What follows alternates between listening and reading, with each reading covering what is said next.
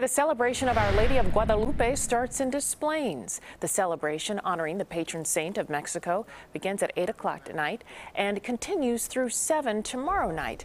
Now, pilgrims make the journey to the shrine every year to fulfill or make promises to Our Lady.